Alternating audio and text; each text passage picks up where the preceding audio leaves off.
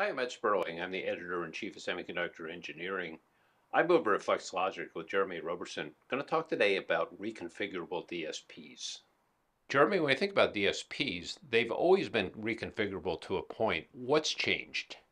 So there's been two large application areas. One is for DSP in a device with a very, very specific and fixed function that needed a lot of PPA. And to handle that application, traditionally ASICs were made for that particular target. The remaining DSP applications were not as intensive in terms of power, performance, and area, and full configurability was desirable. So you had DSP processors, which were like CPUs, but had a little extra instructions in order to handle the DSP focus of the algorithms. And this goes a lot further, right? Yeah, this goes a lot further where now you can combine the best of both worlds because more applications that used to be very fixed function, very high performance in these devices, now they want to have more flexibility and more intelligence than they have in the past. Let's take a closer look. Sure. Jeremy, what are we looking at? Yeah, so what we're looking at here in this picture is we're looking at an architecture diagram of an open RAN communication system. So this is a 5G and beyond 5G system. What's interesting about this system is that this is a description of how the architecture has been opened up. So you see a splitting between three major parts of the communication network. You have your front haul, your mid haul, your back haul. And what you see here of interest is that there's a big software block on each one of these.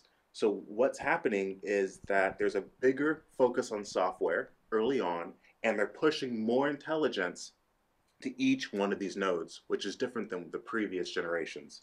Um, moreover than that, you see a dividing line going through the middle of the diagram, separating the hardware vendors to the south and the software vendors above it.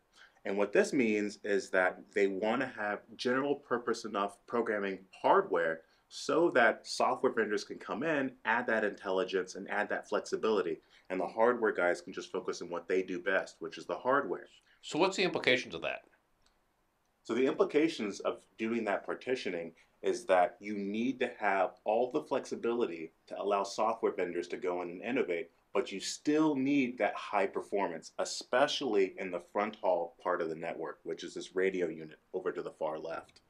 This is really the beginning of 6G here, right? Is this what you're talking about?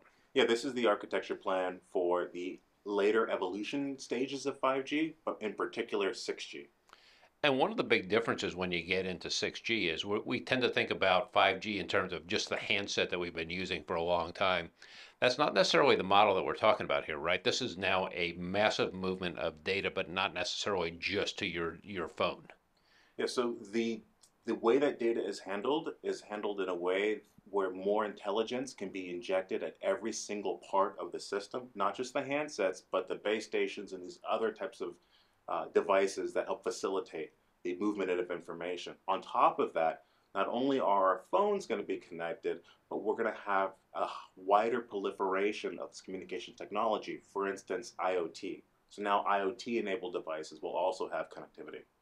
You've got a lot of data that's moving through here. In addition to that, you have a lot more applications than you ever had before.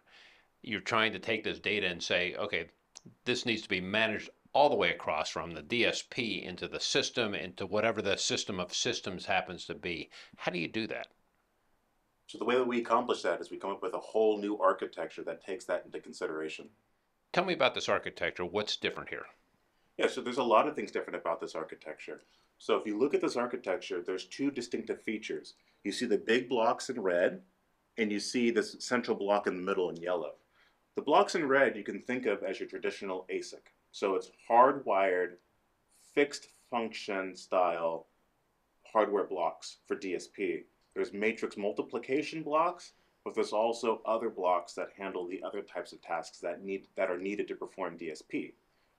Those particular blocks perform with the same or similar PPA as your ASIC.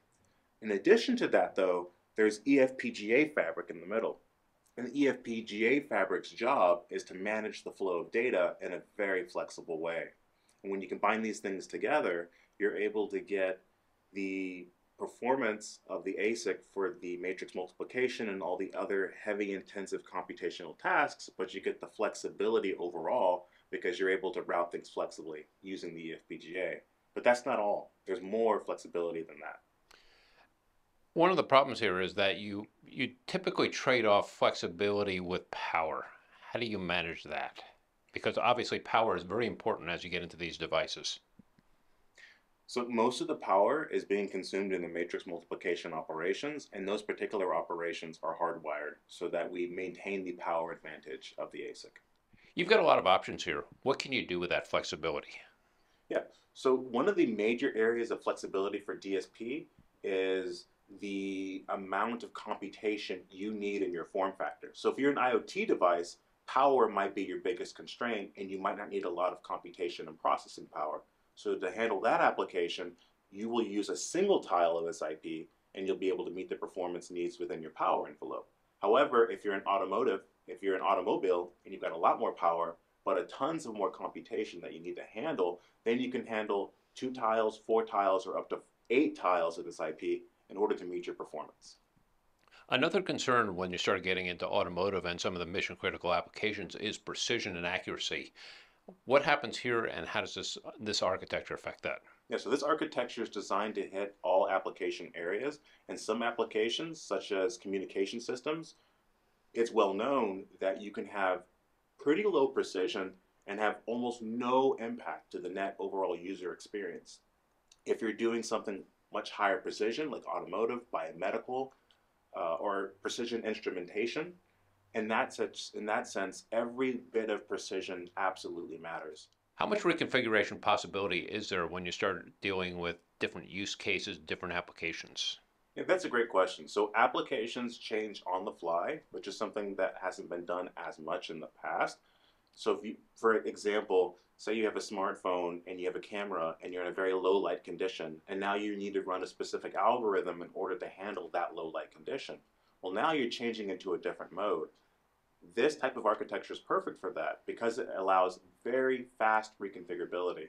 You can have one set of DSP functions one time and then when a certain event happens, like low light, within a microsecond you can switch over and go to a completely different application. And if you th- look at your, your own phone, you've got so many different applications that are updating all the time, and, and you used to have maybe one or two that would update here and there. Uh, now, almost every day, you look at your phone and say, okay, this, this now has 15 new applications that need to be updated. This will address some of that and will do it automatically? It will do that. So, it, because the hardware itself is reconfigurable, whenever you have a new application, you can use over-the-air programming or whatever type of facility that device uh, allows, and you can put a different bit stream or image into the phone so that you can use it. You've talked in general about DSPs. Let's drill down a little bit. What happens in terms of the actual design, performance, uh, whatever you're going to adjust on the DSP? Yeah. So every single application, when we say DSP, usually boils down to a, few specific DSP building blocks. And uh, let me show you what I'm talking about. So what you see on this slide here is you see multiple very common, very popular DSP tasks that are broken down and the performance is itemized both for a single tile of the IP but also for the eight tile version of the IP.